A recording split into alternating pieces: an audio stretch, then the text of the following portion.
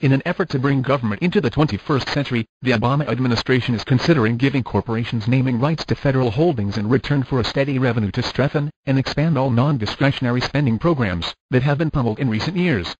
A few corporate names come to mind for the positions.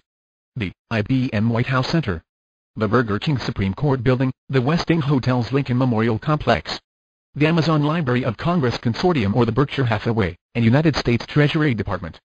There is also talk of Federal Park Partners program that would have sponsors jointly adopting federal parks in return for displaying partnership logos and modest gift shops at all parks.